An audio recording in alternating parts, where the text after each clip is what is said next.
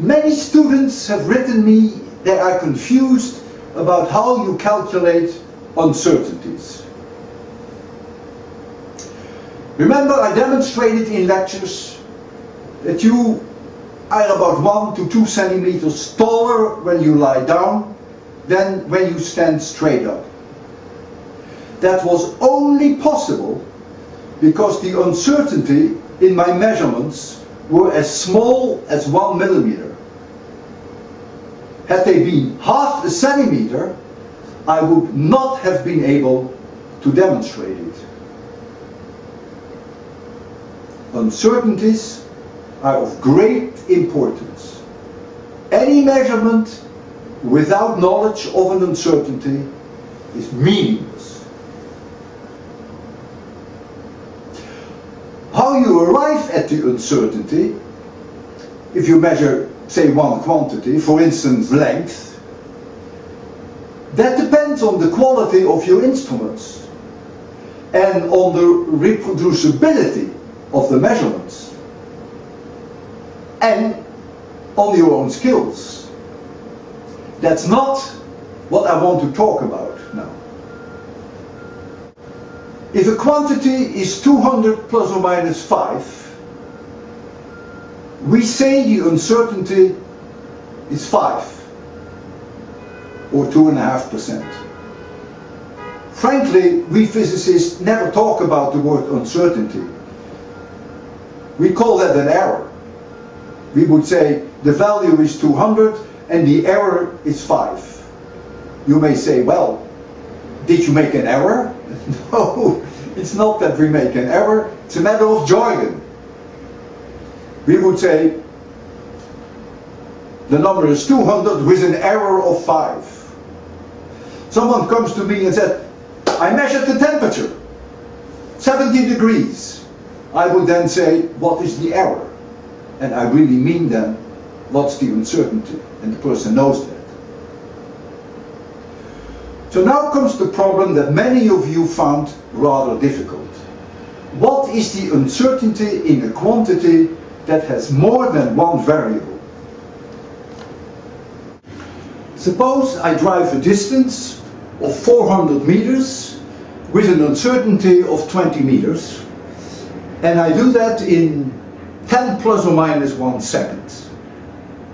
Now the question is, what is my average speed and what is the uncertainty in the average speed? So, we here have the 400 plus or minus 20.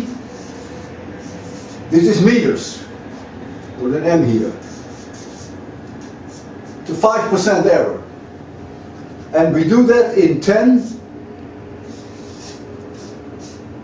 plus or minus 1 second. Uh, that is a 10% error. This is 5%. So now we want to know what is the average speed, which is this divided by that. So I could write it again, 400 plus or minus 20 divided by 10 plus or minus 1.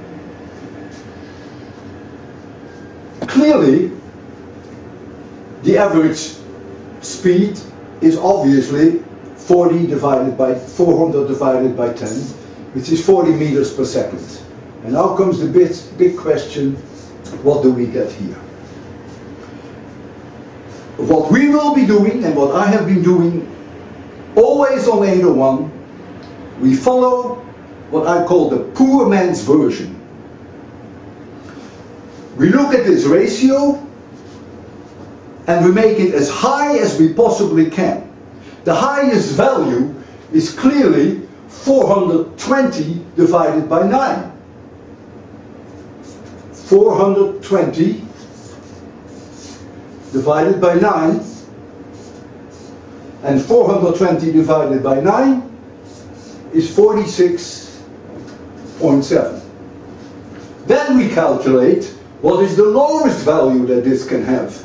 Well, the lowest value is obviously 380 divided by 11. And 380 divided by 11 is 34.5. Now look at this 40, look at this 46, 47, look at this 35-ish. I would therefore conclude that the error here is probably 6.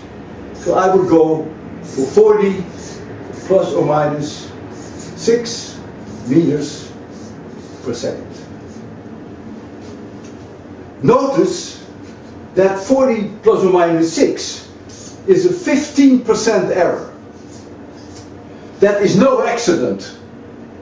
Because this 15% is the sum of this 5% and this 10%. So that's another way you could have found the uncertainty if you wanted to.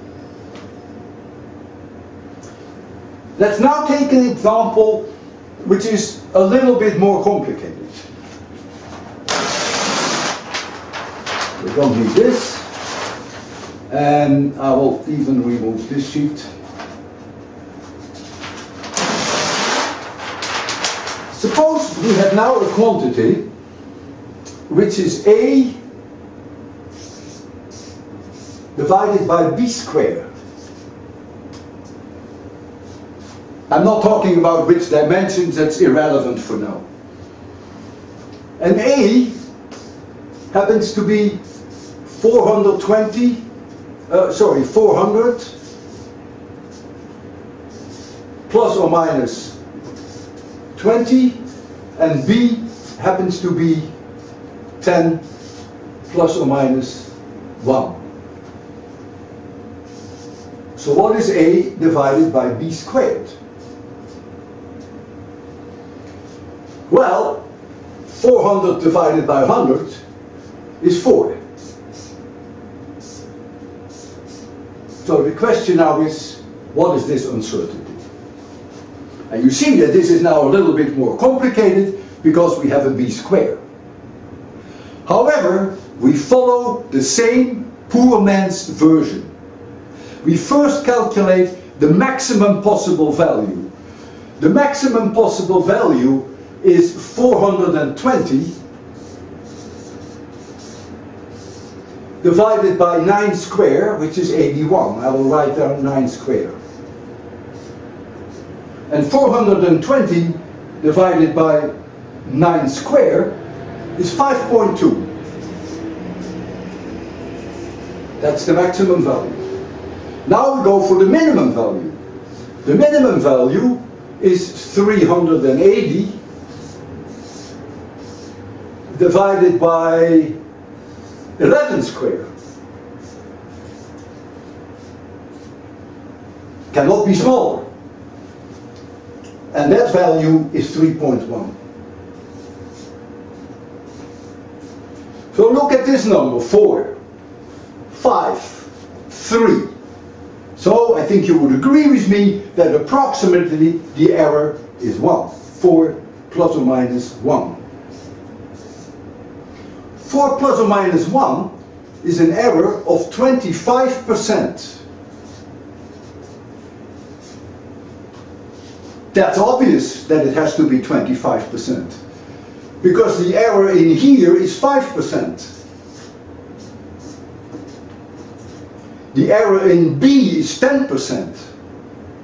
But the error in B squared becomes 20%. Because 11 squared is 121. And so you see that even though the error in B is only 10%, the error in B squared becomes 20%, and 20 plus 5% gives you an error of 25%.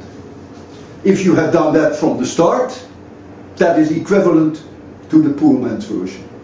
So always go to calculate the largest possible value, the smallest possible value, and then make a reasonable estimate then based on the ratio itself. And you cannot be, you're not going to give more than one or two digits, of course, It would be ridiculous, That's why I simply put here a, a 1. Uh, sorry, uh, a 1 here, yeah. Even though it says 3.1 here and it says uh, 5.2 here, I simply call that a 1. I hope this will uh, solve your problems for the rest of 801. Poor man's version. Call it Walter Lewin's version. Later in life, you will be taught a much more sophisticated and more correct way to calculate the uncertainties when more than one variable is at stake. But that is a course all by itself. The correct way of doing it will always give you a smaller error, a smaller uncertainty, than the poor man's version. But in 801X, I always use in my lectures the poor man's version, and you should do the same.